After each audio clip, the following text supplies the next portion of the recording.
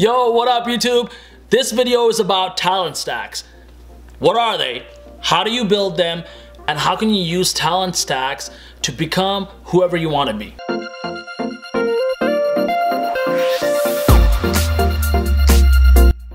So when web developers build applications, they build them with a set of internet technologies they call stacks. Now these Technology stacks work together to run different parts of the application. Successful careers, businesses, and projects are also built on a similar concept. But instead of using technology stacks like web developers, these successful professionals use skills that they learned over long periods of time to build talent stacks. So what is a talent stack and how does it work, right? So there's basically two ways to build your skills the Rubik's Cube way and the Lego set way. Oh. Alright, the first way is a Rubik's Cube way. Now this is a Rubik's Cube, and a Rubik's Cube has a very specific set of parts that work together to do one thing really well repeatedly. Now a Rubik's Cube is really hard to put together uh, because all the parts have to be equally as good and in any of these you know parts break the whole thing no longer works and the whole thing breaks right If you wanted to build one of these things from scratch, it would probably take you a very long time because, well, all the things have to be very precise and they had to work in, a, you know, a very formulaic way. All right, the second way is the Lego set way.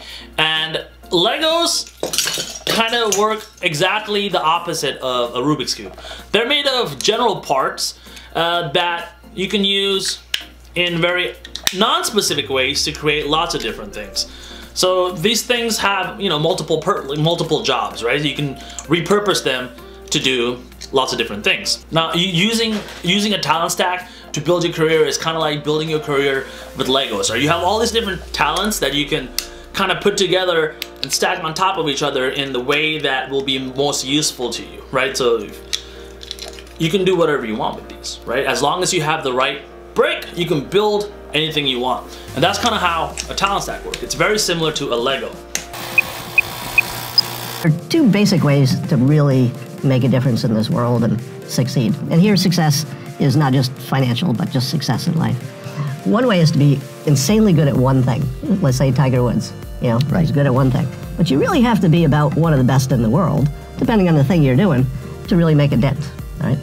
But the other way you can do it is the way that I've done it, which is I've compiled a, a set of complementary skills, and I'm not really the best in the world at anything, right?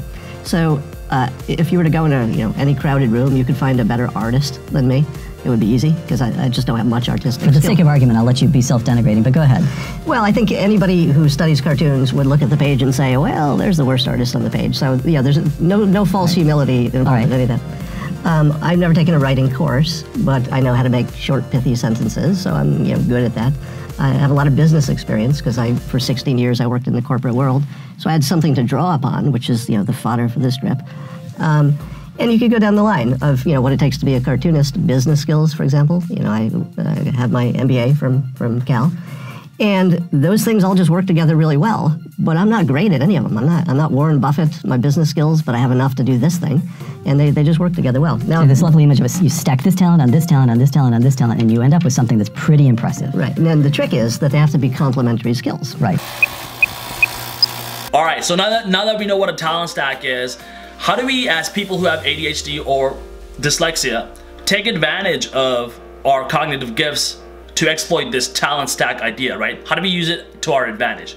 So one of the things I love to talk about on this channel is how you know, there isn't that many ADHD people in the world and there isn't that many people who have dyslexia. So all the systems, all the systems and processes that exist are not designed for us. They're designed for people who don't look at the world in the way that we do, right? So how do we take advantage of that? So the first thing I'll, it's that's cool about this idea is it's about building our own career path, right? So the idea is you collect a bunch of talents and you figure out a way to solve a problem in the real world by stacking those together in a unique way that only you or a few other people can do. And therefore you create sort of a monopoly onto yourself because you're the only person who has these unique set of abilities and experiences and who also happens to be able to solve these problems, right?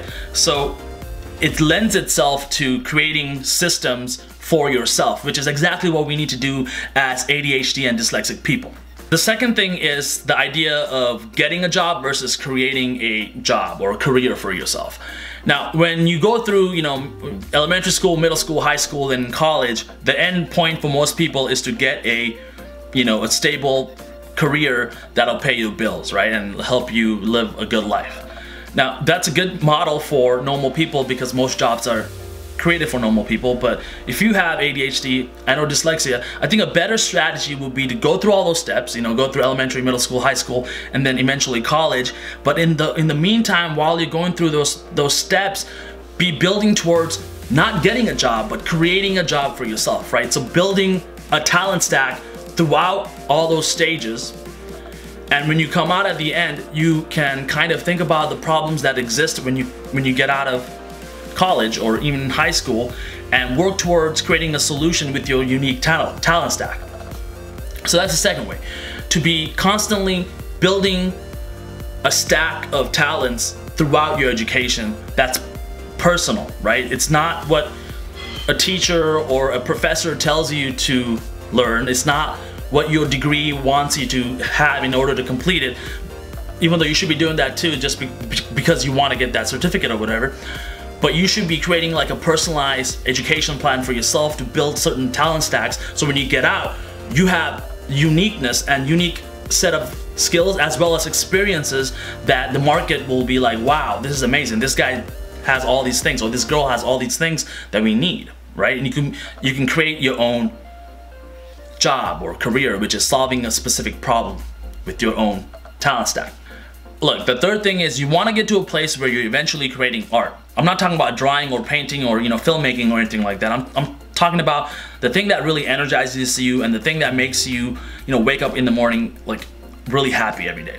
And getting to that place might be really hard, right? Because you have to invent something, you have to create something, you have to do something that other people haven't done before by using all your experiences and your talent stack in a unique way and that might take a lot of experimentation and failure. So it can take you a long time. So in the meantime you're probably going to be working a job to earn a living for yourself right? So in my case I'm a, I'm a science teacher. It's something I love doing but I chose that because I think being a teacher will help me develop some of the talent stacks that I've already been trying to develop even before I became a teacher.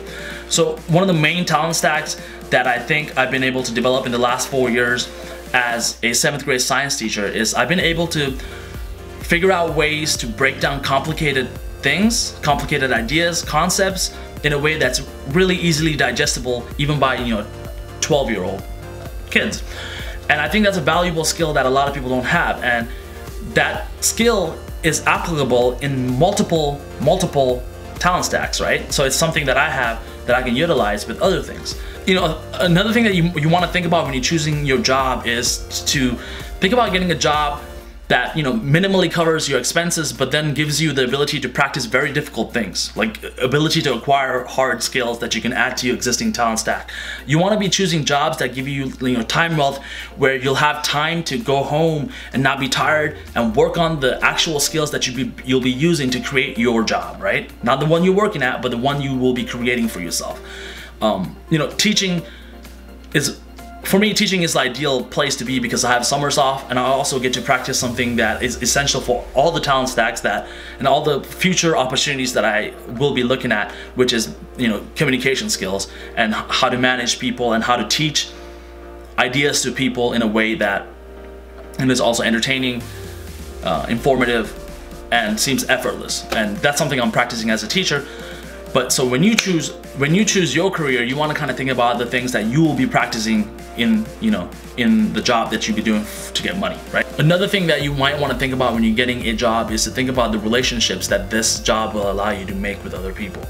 Um, make all the, the, connections that you will be able to make with the people you know that's associated with this career field that later on you can you know take advantage of when you're actually building your art right because this is what it's all about you use your talent stack to build your art. You use your talent stack to create valuable things that are unique to you that the people in the world will appreciate. You know, that's that's it for this uh, week, you guys. I'll talk to you later. Uh, if you haven't already subscribed, please subscribe. Hit that you know, subscribe button. If you have a question, just leave it in the comments. I'll be answering questions uh, whenever you guys have them. Thanks a lot. See you next time. Bye. Love you. Hey guys, thanks for watching. If this is your first time here, I'd love for you guys to subscribe. If you like this video, you can hit the like button to support the channel and let me know your thoughts on the comment section. Thanks again. See you next time.